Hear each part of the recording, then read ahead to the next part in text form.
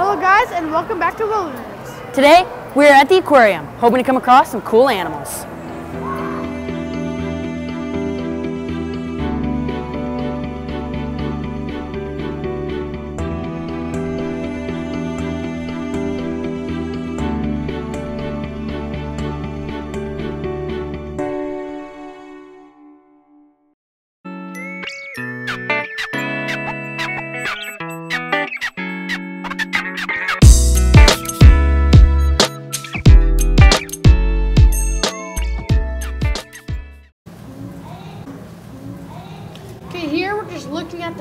From the underside view. It's really cool to see them swimming if you get a shot. Okay, so as you can see, these penguins have white undersides and black upper sides. And this helps them, you can see it really well right now, it helps them with camouflage. From predators underneath can't see them as well, and neither can their prey because of the sun against their white bellies. And also predators can't see them very well from above because of the black next to the dark waters. Pretty cool, huh? Orcas have that same pattern. Still do some.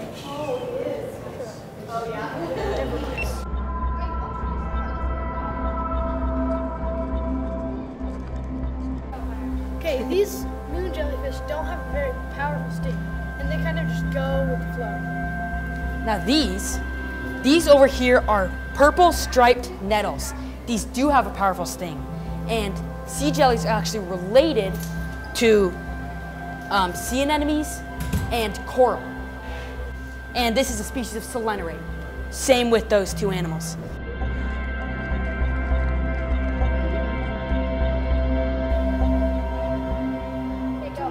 That is huge. Have you ever seen anything that big? I didn't know they got that big. Oh my gosh, look at that. Do you know what that is? That's a mantis shrimp. Those guys have better eyesight than we do. I was not expecting that big. They can actually see better than we can. They can see UV light. So they have incredible vision. One of the, they can see more than almost any other animal on the planet. Right here, the mantis shrimp. Okay, so right now, we are gonna go see we are gonna go see some fish. And I'm not talking trout, I'm talking sharks, stingray, manta ray.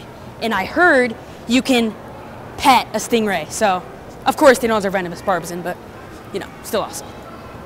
Let's do this.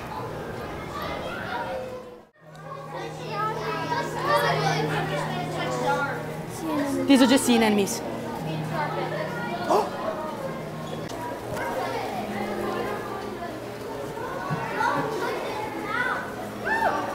All right, everybody, welcome to the Tide here at the Ocean Explorer Hall. So I- This is the warty sea cucumber, and it's called that because of all those spines. That helps them camouflage with their environment. But they're not actually spiky, it's just really slimy like a slug, even though they're not related slugs. So which side's its head and which side's its butt? So they do have a hole on both sides, just like people.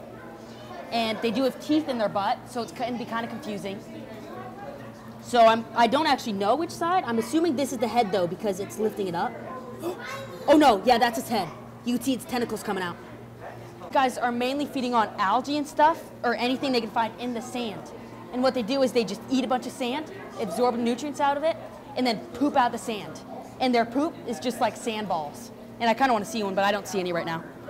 They're just little like piles of sand smushed together. Super cool. Some species actually have teeth in their butt because there's a parasitic crab that will go up their butt and feed on their insides. So this it's a self-defense to have teeth in your butt. So when the crab climbs up, you can chew on it. Okay, this is a gumboot chiton. I actually couldn't identify, I had to look up there, but luckily I do know what a gumboot is, and they're super cool. Now this is the largest species of chiton in the world known to man. And, well, it is a gastropod. It's related to slugs and snails. And gastropod basically means foot, stomach. Um, pod is foot, and gastro means stomach. So it's basically these slug-like animals that have their feet and stomach in the same body part. So its foot is the underside, and then its stomach is just where normal stomachs are, right? Super cool. And it's like squishy. Yeah, it feels kind of like velvet up.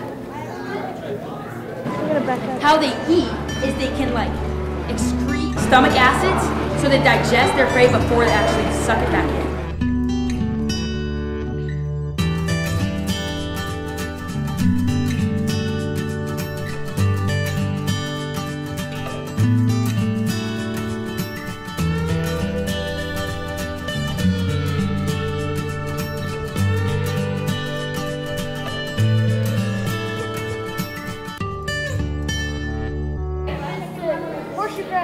Okay, right here, these are stingray.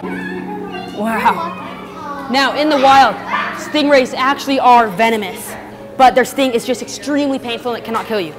But here, their barbs have been taken out, so they're pretty harmless. Um, still really cool.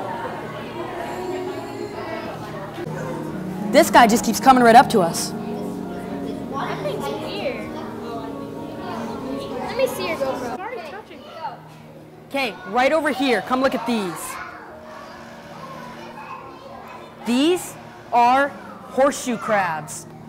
And I say horseshoe crabs, but these are actually not crabs. They're related to spiders and scorpions. And something that's really cool about them is they have nine eyes. They have two light sensing eyes on the top, and then they have a bunch of different kinds of eyes on their bottom. Pretty cool. And a lot of people think that that tail is venomous. It is not. They are harmless.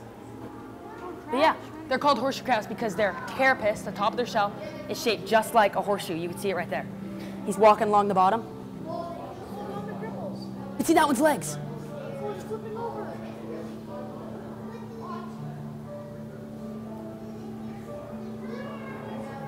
Did you get that?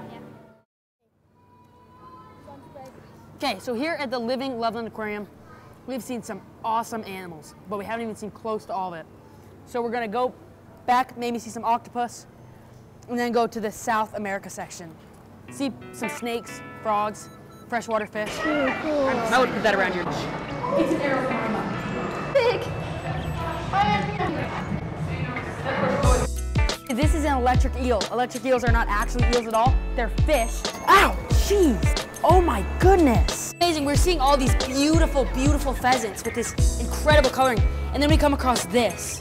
And you just think of all the biodiversity and beauty of Asia.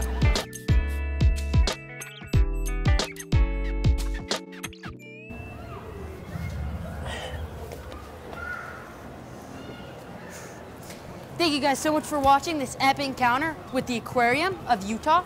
Please Please. comment And subscribe. We'll see you on the next Wilder Nerds episode.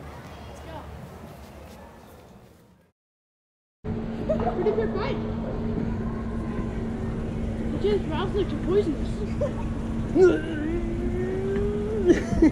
Say it again, Arm. Say it again. You're poisonous. Wait.